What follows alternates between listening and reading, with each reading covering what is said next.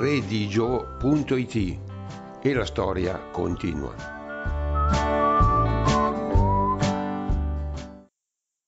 È il tram a Legnano. 50 anni fa, precisamente il 18 gennaio 1966, i legnanesi davano l'addio al tram della linea Milano-Legnano-Canazza, dopo 86 anni di onorato servizio.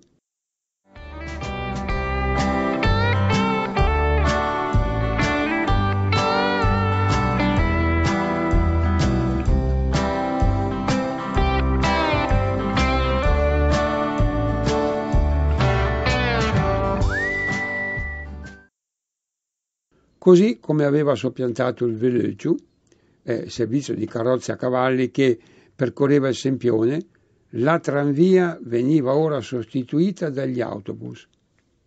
Inaugurata nel 1880 la linea tranviaria extraurbana con una macchina a vapore, la cosiddetta gamba di legno, collegava inizialmente la città di Milano Legnano, ma venne poi estesa a Busto Arsizio e a Gallerate. Nel 1915, dopo il cambiamento della società concessionaria, fu adottato un sistema di alimentazione in corrente continua e a inizi anni 30 la linea raggiunse Cassano Magnago e Lonate Pozzolo. Queste due diramazioni e la tratta tra Legnano e Gallerate vennero chiuse nel 1951, mentre la Milano-Legnano rimane attiva a, a, a per altri 15 anni.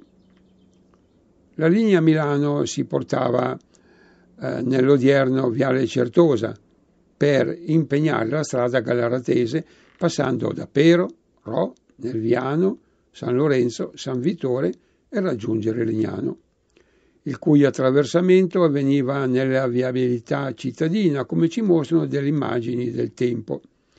In Corso Sempione, all'altezza della chiesa della Madonnina, in via Mussolini, oggi via Matteotti, Piazza 4 Novembre, Corso Vittorio Emanuele, oggi Corso Italia, e le vie Pietro Mica e Roma, per rientrare in Corso Sempione solo all'ingresso di Castellanza.